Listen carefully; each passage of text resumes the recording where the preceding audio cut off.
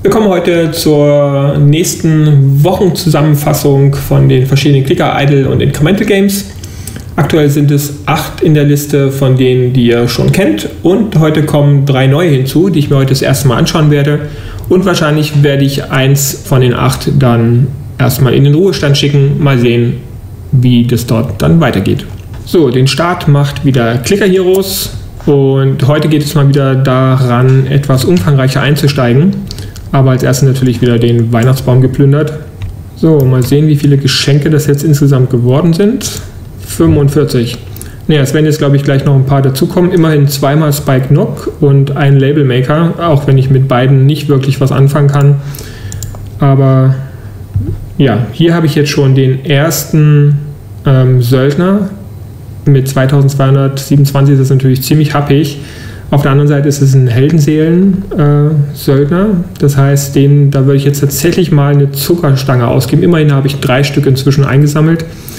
Und ja, du darfst wiederbelebt werden. So, dann gibt es noch neun weitere Geschenke und ein paar zusätzliche Heldenseelen, die im Moment aber jetzt nicht weiter relevant sind. So, ich werde jetzt hier dann gleich mal den nächsten wieder starten. Und was ich jetzt vor allen Dingen auch schon mal ausprobieren wollte, wenn ich jetzt einen von denen äh, entferne, will ich vor allen Dingen wissen, zählt er mit zu den Begrabenen? Also im Moment habe ich 149, die ich begraben habe und 237 noch äh, schon mal wiederbelebt. Also mal gucken, ob das jetzt auf 150 steigt, wenn ich einen davon ähm, rauskicke. Und was ist am uninteressantesten? Letztlich Rekrutierungsgeschwindigkeit, den werde ich gleich nutzen. Dafür werde ich die Skills aktiviert durch Quest, das werde ich rausschmeißen. Und ja, den will ich entfernen. Und jetzt sag mir mal, ob das hier eine Auswirkung hat. Nein, nicht. Also ich muss sie tatsächlich sterben und begraben lassen. Das heißt, das Löschen bringt nichts. Das heißt, ich kann das dadurch nicht beschleunigen. Und dich schicke ich jetzt aber los. Okay, es sind immer noch acht Stunden. Auch egal.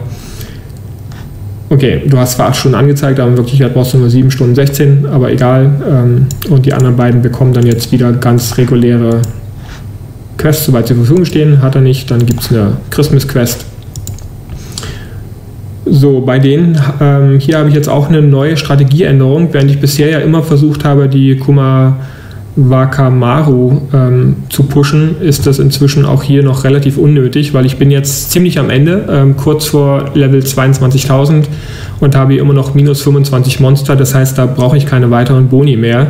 Ähm, vor allen Dingen, da das sich ja hier auch relativ wenig auswirkt, und zwar um gerade mal zwei Monster der für die 10 Level. Das heißt, ich konzentriere mich jetzt inzwischen auf andere. Und zwar hier äh, eine Kombination auf Energieschub und Superklick ähm, sind hier beides vorhanden. Zusätzlich dann hier schon mal Glückstrefferdauer, aber das ist jetzt noch nicht so stark, weil das ist noch ein alter und hier ist aber auch Energieschub. Das heißt, mein Fokus ist jetzt daran, ähm, natürlich hier Superklickdauer ähm, zu verlängern in Kombination mit dem goldenen Klicken und dann eventuell Glückstreffer und Energieschub. Also Prio 1 sind äh, Superklicker und goldenes Klicken in Kombination zu bringen, dass die beide ähm, etwa gleich lang laufen, weil das sind auch die beiden Push-Elemente, mit denen ich ja auch am Ende noch weiter hochkomme. Ich lasse den jetzt erstmal hier weiter klicken und kann mal gucken, ob meine Gilde, ob die heute noch so, das war der gestrige Raubzug ähm, und heute habe ich nämlich noch nicht erledigt. So, die anderen haben es schon mal vorgelegt und jetzt werde ich schauen, dass ich den noch klein bekomme. Ähm, weil inzwischen bin ich natürlich schon wieder relativ weit aufgestiegen. Das heißt, wir sind jetzt inzwischen bei Titan Level 274 angekommen. Aber den sollte ich jetzt im ersten Durchlauf noch ganz gut klein bekommen. Es ist knapp, aber es sollte reichen. Vor allen Dingen mit der Nachklickzeit der Autoklicker. So, also die letzten laufen und es hat soweit geklappt. Ich habe eben dann sogar einen Overkill, aber das reicht soweit, ähm, dass die Seelen wieder einsammelbar sind, auch wenn die Seelen dort jetzt keine größeren äh, Mengen haben. Also im Verhältnis zu dem, was ich hier sowieso habe, ist es schon relativ weit unten und den, die ich insgesamt als Titanschaden eingesammelt habe. Aber auch das ist wichtig, das dazu zu holen. So, jetzt erstmal hier noch durch die letzten. Ähm, okay, auch nicht interessant. Ähm, es sind so, Energieschub wäre jetzt hier natürlich mit 1700 Sekunden. Ähm, das heißt, dann würde der Energieschub eine halbe Stunde dauern. Der hat jetzt schon einen Bonus, deswegen braucht er den jetzt nicht unbedingt, ähm, sondern wie gesagt, ich bin im Moment auf der Suche, dass das goldene Klicken verstärkt wird. Aber dann erstmal das Zeug recyceln, weil ich werde jetzt heute mit euch den nächsten Überwelten-Reset machen. und nehme ich hier, ich habe inzwischen schon wieder 90 Seelen angesammelt und habe jetzt darauf gewartet, auch heute mit euch so eine kompletten Überweltenrezept zu machen. Sonst hätte ich das eventuell vorher schon gemacht. Aber was ist überhaupt der aktuelle Status? Das heißt, ich bin jetzt schon bei 320 antiken Seelen. Das heißt, es geht dann mindestens auf 300, äh, auf 410. Und das bedeutet, dass mit dem nächsten Überweltenreset auf jeden Fall dieses äh, Achievement, diese Errungenschaft dann auch abgeschlossen wird. Ebenso ähm, wahrscheinlich, das wird noch zwei über, also den nächsten und den übernächsten Überweltenreset dauern, um dann die 3000 voll zu machen. Und dann fehlt tatsächlich nur noch die ganzen, die beiden Söldner-Missionen um dann alle Errungenschaften abzuschließen. Mal sehen, wie ich das dann weiter anstellen werde. Ähm, ja, zu denen gibt es jetzt nichts weiter zu erzählen. Ähm, ja, meine Mitglieder, ähm, auch wieder heute schöne Grüße an euch. Ähm, die sind jetzt, zwei sind schon an den 10.000 und deutlich drüber und ich werde mich dann noch sputen, ähm, dann eben bald jetzt auf die 30.000 zuzugehen, um dort weiterzukommen. Und ähm, deswegen heute dann auch nochmal, wie geht die nächste Optimierung, worauf achte ich, ähm, was ist letztlich wichtig. Also ihr seht hier, Skogor hat jetzt aktuell, ähm, kann ich noch nicht weiter aufleveln. Und ich kann jetzt hier zumindest schon mal den ersten Push nochmal aktivieren. Also ich normal eben hier energetisieren auf doppelte Superklicker und dann goldenes Klicken natürlich aktiviert und die anderen sowieso mit. Aber ähm, ihr seht, es geht relativ langsam vorwärts und ähm, weil einfach jetzt die Combo hier so niedrig ist, ich hatte hier glaube ich einen Exponenten von hoch 6, ähm, wo ich das gestern aufgehört habe, weil ich brauchte mit euch vor allen Dingen eine Endposition, damit ich nämlich hier eben die Werte anzeigen kann. Also ihr seht, wie gesagt, äh, Kumakavaru, ähm, die minus 25 Monster, da brauche ich keinen Bonus mehr. Ähm, das bedeutet, dass ich letztlich auch hier ähm, keine Notwendigkeit habe, den weiter aufzuleveln. Da ist kein Bonus notwendig. Auch bei den Treasure Chests, ähm, die ja hier durch Dora ähm, verbessert werden würden, ist nicht unbedingt notwendig. Äh, mit 93 Prozent, ähm, jetzt hier am Ende ist es noch mehr als ausreichend. Boss Gesundheit ist auch relativ uninteressant. Ähm, dafür, was tatsächlich wichtiger wird, ist der Boss-Timer. Ähm, das heißt, ich muss tatsächlich anfangen, in Kronos zu investieren, weil das mit den 41 Sekunden ist schon ein bisschen knapp dann, gerade für den letzten Push. Da ist etwas mehr Zeit sinnvoll. Und genau diese Zeit bekomme ich nicht äh, über den Antiken im Moment. Äh, okay, zuletzt noch die Primalchance liegt bei 102 Prozent. Das heißt, da brauche ich auch keinen zwingenden Bonus. Das heißt, Admin ist da, kann ich um ein Level aufleveln, weil ich will ja noch ein paar tausend äh, Level nach oben kommen, wo dann auch noch ein paar Abzüge stattfinden. Ähm, aber er hat keine Priorität. Und jetzt hier die Info, warum ist der Kronos so wichtig oder warum ist der Bonus für Kronos wichtig? Ganz einfach, ähm, es ist etwas Makulatur zu sagen, dass der kein Maximallevel hat, weil wenn ich mir anschaue, okay, ähm, wie geht es hier jetzt weiter mit 97 hoch 8, also 97,48 Sekunden für die Bosskampftimer, äh, bekomme ich keinen weiteren Bonus da mehr dazu. Das heißt, die Abzüge sind schon so stark, dass das halt gerade schon noch auf die Hälfte verringert wird. Aber selbst wenn ich hier jetzt ähm, noch mehrere Level dazu kaufe, ihr seht, da bewegt sich das um keinste Hundertstel Sekunde. Ähm, deswegen brauche ich den Bonus, damit der Bonus mir zumindest da noch einen Multiplikator verschafft. Mal gucken, wir waren jetzt aktuell bei Kronos ähm, schon das 2,25-fache ähm, und es wird dann zumindest noch um 0,75 verbessert. Also ich denke mal, zwei Level sollten hier ganz gut tun, um hier noch ein bisschen mehr rauszuholen. Weil es gibt äh, mehrere, ähm, die halt dann, obwohl sie kein Maximallevel haben, aber im Endeffekt keine weiteren äh, Wirkungen mehr haben. Umgekehrt hier, hier sind die Schritte noch relativ gering, aber absolut ausreichend ähm, dafür, dass ich hier parallel weiter anschließen kann. Das heißt, es ist auch überhaupt kein Problem. Und auch für die Treasure Chests, ähm, mal gucken, das war glaube ich hier die Schatzkiste. Das heißt, auch hier habe ich noch genug Platz nach oben, um weitere Treasure Chests zu kaufen. Ähm, hier steht zwar Maximum 9900 Prozent, aber letztlich geht es ja darum, dass ich maximal eben 100 Prozent Treasure Chest Chance haben kann und das dann nicht weiter steigt, also zumindest keinen weiteren Effekt hat. So, deswegen ist jetzt ähm, erstmal noch der ganz normale Weltenreset. Also ihr seht, ähm, das ist jetzt so aktuell das Ende. Da müsste ich noch ganz schön grinden, um da auch nur noch mit einem nächsten Push irgendwie weiterzukommen. Ähm, deswegen lohnt sich das nicht. Machen wir mal die letzten Geschenke noch auf. So, vor allen Dingen Schmiedekohlen, also nicht sehr wichtig. Und die letzten Vergoldungen das hält sich jetzt auch in Grenzen. Ähm, Maximum sind jetzt so 2400, was dann äh, Skogo aktuell bekommt. Vielleicht auch nochmal einen Blick hier auf die, also mal sehen, ob ich die äh, nächstes Mal schaffe, ähm, weil 500 äh, 10er Potenzen an Gold, das dürfte noch eine Weile dauern. Könnte auch noch länger dauern, bis ich dann sie erreiche. Wahrscheinlich ist es dann tatsächlich schwieriger. Ähm, je nachdem, wie natürlich die Sprünge weiter für die anderen Helden sind, die auch alle zu erreichen. Also mal sehen, was dafür notwendig ist, weil neben den Errungenschaften möchte ich die natürlich auch alle zumindest mal freigeschaltet haben. Also meine Priorität liegt weiterhin auf denen, die jetzt hier ausgeklappt sind. Eben die Chance auf Urbosse natürlich äh, primär mit erhö zu erhöhen, deswegen ist sie jetzt schon bei 65, während die anderen bei 260 liegen und äh, Kumawa Kawaru äh, natürlich parallel mit hochzuziehen, auch wenn es hier eben, wie gesagt, immer unwichtiger wird, weswegen ich dann ab dem nächsten Mal äh, meine Reliktstrategie hier ändern werde und tatsächlich auf diese Elemente gehen werde. Und ansonsten sind das eben hier die fünf, die klassisch sind, also für das goldene Klicken natürlich der Multiplikator.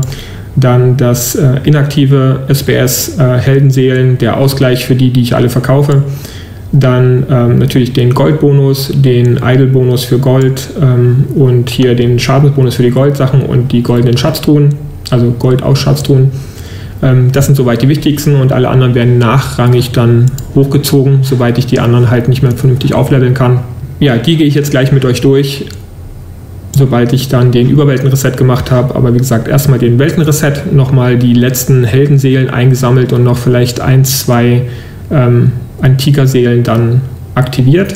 So, die werde ich jetzt eben nicht mehr ausgeben. Das heißt, wir haben, starten jetzt mit 91 dann in den Reset, aber erst noch hier wieder den Export, damit ich meine Zahlen habe.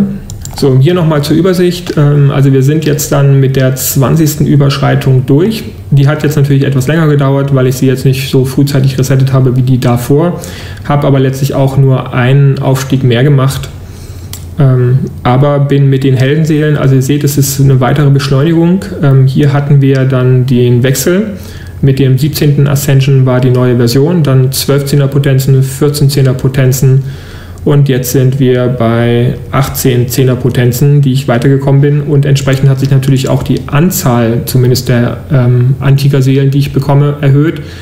Aber nicht zu vergessen, gleichzeitig steigen natürlich hier die Anforderungen bis auf Pandorosus äh, bei allen anderen deutlich an. Mit jedem Level wird es eine Seele mehr. Das heißt, der Effekt davon, ähm, was ich hier erreichen kann, wird natürlich weniger, aber die überwältigende Macht wird größer. Das heißt, auch hier mit den 90, ähm, mal gucken, da komme ich jetzt schon, ich weiß nicht, ob jetzt äh, die Hälfte, also 0,05 oder 0,1 ähm, dazu beitragen, aber schauen wir es uns gleich an und machen jetzt erstmal die Überschreitung. Jawohl, nächste Stufe. Und dich lasse ich dann schon mal hier ähm, die Klickaufgaben erledigen, damit wir da parallel weiterkommen und natürlich das Ganze aufgelevelt werden kann. Und zwar einen brauche ich noch für dich und wir kümmern uns dann um die Verteilung der überweltlichen Macht. Genau, also es sind 0,05. Ähm, das heißt, die 90 haben jetzt hier einen Bonus von 56 gebracht. Also auf jeden Fall ein ganz ordentlicher weiterer Bonus. Mal sehen, wie schnell sich das dann auswirkt. Das heißt, dass auch hier anhand dieser Bremse letztlich ähm, locker mal 20 bis 25 Zehner Potenzen wahrscheinlich das weiter nach oben geht. So, also meine Strategie jetzt hier, die 90 auszugeben. Als erstes werde ich auf jeden Fall zwei wieder in die Senkung der Antika-Kosten stecken. Ähm, das ist natürlich eine ganze Menge, aber wie gesagt, halte ich es weiterhin für sinnvoll, ähm, jetzt hier dann nur noch, also 60 Prozent weniger, das heißt nur noch 40 Prozent der Kosten zu haben. Ähm, weswegen das dann eine weitere Beschleunigung ist, weil ich ja dann über den Mortus, wenn ich dort die Seelen reinspeichere, mir noch billiger letztlich diesen Bonus sichern kann, den ich über die Heldenseelen bekomme. So, als nächstes äh, natürlich ein Level auf jeden Fall für die Inaktiv-Boni dazu und ein auf jeden Fall mal Ponyjunge dazu. So, jetzt habe ich noch 38 über. Wie gesagt, Kumakawaru absolut nicht notwendig. Minus 24 äh, war der letzte Wert. Bei Adman, das heißt, die Chance auf Heldenbosse ähm, lag bei 102% jetzt zum Abschluss, das heißt noch ziemlich hoch, das heißt nicht unbedingt wichtig. Mal gucken, ob wir nachher noch was überhaben. Ähm, das mit der Krankheit halte ich nicht für relevant, ähm, weil die Abzüge so gering sind mit 0,1, 0,2 dann ähm, jeweils, Ähm, das heißt, bis man da wirklich ein ganzes Monster zusammen hat, ist das einfach viel zu wenig. Aber eben Kronos. Das heißt, Kronos werde ich auf jeden Fall mal zwei investieren, einfach um zu sagen, ähm, ich will eine höhere Basiszeit trotzdem wieder für die Bosse dann haben. Und Dora kann ich noch eins machen, da waren wir jetzt bei 93 Prozent. Ich habe jetzt noch 29 über, dann machen wir noch einen Dora und machen tatsächlich, ähm, wollte ich sagen, genau, einen Adman. Ähm, sind genug übrig, ähm, machen wir noch einen da dazu. Jetzt habe ich natürlich die Überlegung, ähm, entweder ich gebe jetzt noch 18 für den Corvolot aus, äh, werde ich an der Stelle nicht machen, sondern ich werde tatsächlich alle ähm, Nee, ich werde noch einen in den Inaktiv-Boni setzen, ähm, werde da noch einen machen und die restlichen neun werde ich dann wieder in die SPS investieren. Ähm, einfach damit hier natürlich der Schaden nochmal leicht verstärkt wird. Der Schadensbonus wird immer, immer weniger natürlich, ähm, weil es im Verhältnis immer weniger ansteigt, aber zumindest steigt er hier linear an. Das heißt, ich bekomme immer 100% für eine so eine Antiker-Seele. Und jetzt heißt es letztlich wieder durchlaufen. Ähm, Genau, jetzt fehlt mir hier noch der ähm, automatische Upgrade für die, für die Sachen. Und dann kann ich hier nämlich auch schon mal anfangen, ja, die Sachen einfach durchzukaufen. Und den ersten Aufstieg, ähm, den kann ich euch jetzt von den Zahlen natürlich so nicht mehr zeigen, aber den habe ich nämlich tatsächlich erst nach 200.000 Heldenseelen gemacht. Ähm, das heißt, ich bin bis Level 300 oder 400 ähm, am Stück durchgelaufen. Und damit war es natürlich ziemlich einfach, dann ähm, auch alle Antiken zumindest erstmal zu kaufen. Das heißt, erstmalig zu aktivieren. Und das ist natürlich dann super bequem, ähm, weil ich muss die dann nicht extra auswählen. Ich kann diesen Dialog ähm, dort, dieses ganze Durchlaufen bleiben lassen und ja, die einfach mit einem Klick zu aktivieren. Deswegen äh, werde ich das jetzt auch wieder genauso machen. Ähm, und das heißt jetzt hier ja, so lange laufen lassen, wie er überhaupt vorwärts kommt, bis die Bremse irgendwie merklich ähm, spürbar wird. Ich bin mal gespannt, ob die Strategie jetzt weiter aufgeht, ähm, vor allen Dingen eben die Senkung weiterhin der antiken Kosten, ähm, dass das wirklich zu dem Plus führt, ähm, von dem ich ausgehe. So, das dauert noch ein bisschen, ähm, aber ich kann das ja erstmal laufen lassen. Ich bin jetzt schon eben, obwohl es natürlich 10 pro Level aktuell zu erledigen sind, das ändert sich dann erst später, äh, wenn ich natürlich das erste Mal meine Antiken dann alle ähm, aufgelevelt habe. Genau, also die äh, Anfangschance für die Primalchance ist sogar 25 Prozent, das heißt, die ist relativ hoch. Ja, also die Chance lässt sich auch ziemlich einfach dann ähm, auf fast, also auf jeden Fall auf 100 Prozent bringen, sobald die irgendwo 150 oder sowas erreicht habe mit den Antiken. So, hier sehe ich jetzt schon, da ist natürlich schön, dass der SBS schon dabei wäre, aber wie gesagt, ich brauche nicht darauf zu warten, ähm, dass ich mir die alle einzeln zusammenklicke, sondern ich kann die tatsächlich in einem Rutsch aktivieren. Ich hatte ja gesagt, dass das ursprünglich irgendwie so, meine Schätzung war 200.000. Ähm, es sind inzwischen sogar weniger. Also ich glaube, ich hatte ähm, deutlich weniger als 200.000 benötigt, ähm, habe aber erst bei fast einer Million Heldenseelen ähm, als initialer Reset dann äh, ja, meinen ersten Reset gemacht für den Durchlauf. Und mal schauen, wie schnell wir das jetzt hinbekommen. Ähm, weil natürlich bis Level 100 ist es jetzt auch nicht mehr weit. Ähm, wenn ich das jetzt noch 10, 15 Minuten laufen lasse, kriegen wir wahrscheinlich schon eine ausreichende Menge zusammen, die diesen, ähm, die Aktivierung aller Antiken bewirken würde. Und damit ist natürlich dann auch schon schnell die Möglichkeit gegeben, diese ja, das, wofür ich jetzt äh, einige Minuten brauche, bis Level 100 zu kommen, ist dann natürlich, sobald es hier auf 5 erstmal runtergesetzt ist. Ich denke, beim ersten Durchlauf werde ich da noch nicht im negativen Bereich kommen. Aber ich denke, halbieren sollte ziemlich bald möglich sein nach dem ersten Durchlauf. Ähm, das sollte etwa aufgehen. Mal gucken, wie hoch da die Boni tatsächlich dann ausfallen.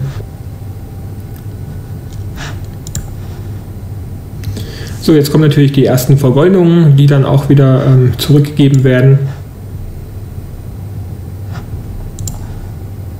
Ja, das ist eins, was eben schade ist, dass das Eingeklappte von den Helden nicht aktiv bleibt und dass ich die jedes Mal dann wieder neu aussortieren muss, die halt dann keine nennenswerten ähm, Gruppenboni geben.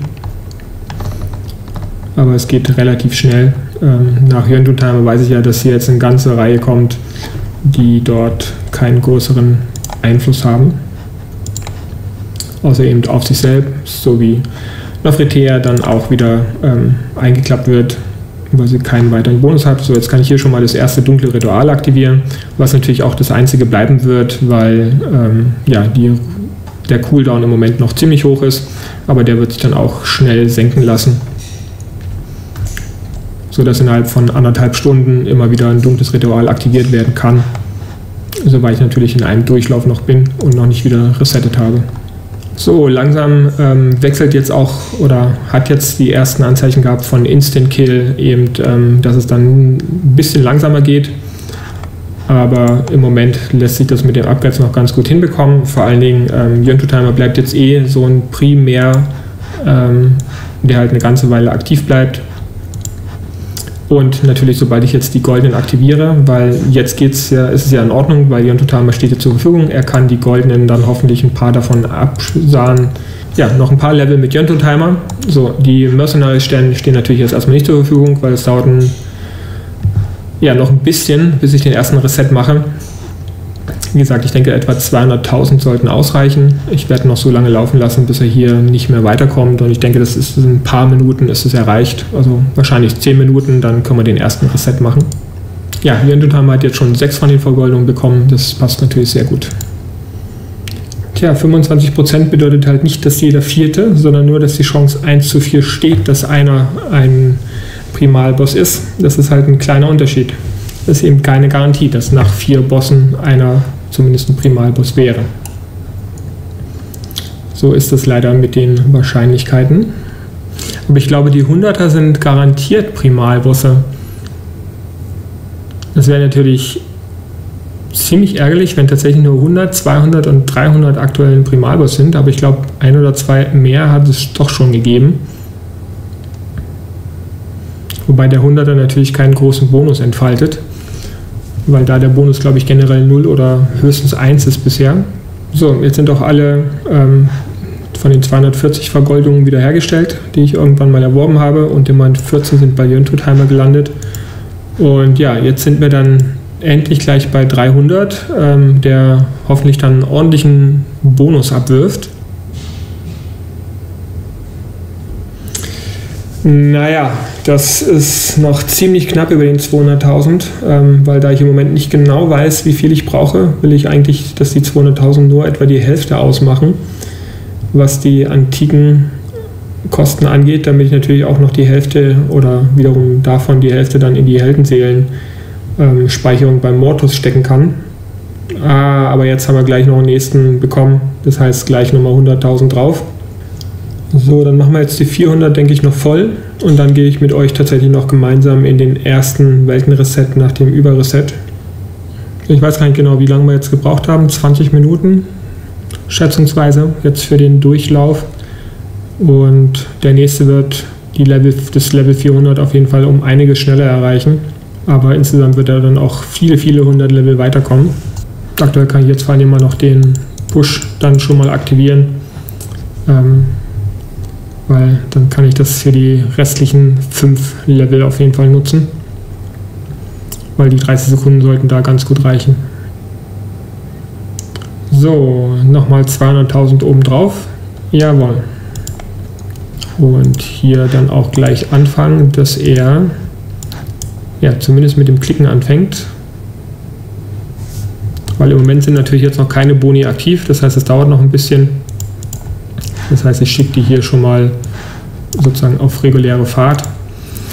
Also, hier habe ich jetzt eben die Möglichkeit, ähm, ich habe jetzt 1,35 Millionen oder 3,6 Millionen und mal gucken, wie viel jetzt.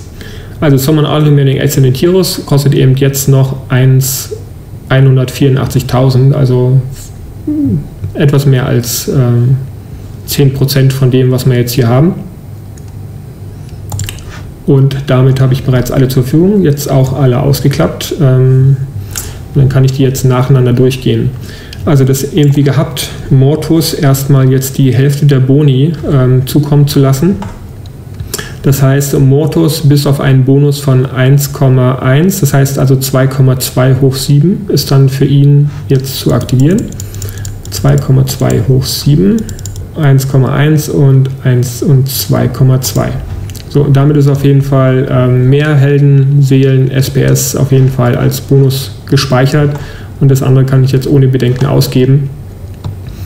So, was ist jetzt natürlich das Wichtigste ähm, hier? Ich will natürlich jetzt äh, vernünftig weiterkommen und jetzt erstmal Kumakawaro natürlich aufkaufen und mal gucken, ähm, wie viele ich jetzt hier ohne Gefahr letztlich aktivieren kann. Ähm, ja, 10 wäre auf jeden Fall ein bisschen zu viel. Aber ich denke, auf minus 5 sollten wir es auf jeden Fall bringen können. So, das heißt, jetzt ist schon nur noch die Hälfte. So, 26.000, naja, einen noch. Dann haben wir so 10 Prozent. War jetzt von äh, ja, also mehr als 10% sollte ich auf jeden Fall nicht ausgeben. Ähm, das gleiche mache ich jetzt schon mal für die Chance auf Urbosse. Wir haben jetzt aktuell nur einen Bonus von 27%. Das möchte ich natürlich auf jeden Fall erhöhen. So, jetzt haben wir schon mal ähm, 49%. Und ja, bis 16 hatte ich jetzt den anderen. Das heißt, das ist eben der wichtigste. Das heißt, ähm, der geht auf die gleiche Stufe. Und damit ist die Prima-Chance jetzt bei 60 Prozent. Das heißt, in diesem Durchlauf sollten wir da einige mehr zu Gesicht bekommen. Jetzt werde ich hier gerade mal umstellen, damit die dann natürlich den Idle-Bonus aktivieren, weil von den anderen Sachen sind ja jetzt hier mehr als genug aktiviert worden und kann jetzt hier schon mal die 100er nach unten kaufen. Soweit, dass ich bis hier in Tontimer natürlich dann ähm, aktiviert habe und er die ganzen Damage dann macht. Okay, ein paar Level fehlen noch. Aber kein Problem. Das geht relativ schnell jetzt. Vor allem, sobald ich jetzt die Goldboni aktiviert habe. Die sind ziemlich nebensächlich, deswegen ähm, mache ich die jetzt nur auf Level 10 und klappe die dann entsprechend ein. So, der kommt bis Level 100. Der ist wieder bis Level 10. So, hier ist jetzt der erste große. Der geht natürlich jetzt auch erstmal erst bis Level 100 und dann mal schauen, was ich noch ähm, später verteilen kann auf die, die dann halt ähm, Prio 1 haben. So, auch der Schadensbonus natürlich auf Stufe 10. Äh, ich meine auf Stufe 100 natürlich. So, der Bosskampf-Timer ähm, hat jetzt einen Basiswert von 4,76. Ich weiß natürlich nicht mehr, was er jetzt vorher gehabt hat. Aber mal sehen, wie viel der dann später eben um Level 260 dann erreicht und ob der einen deutlichen Unterschied dann eben entsprechend hat. So, Motors ist ja schon an der richtigen äh, Position aufgelevelt.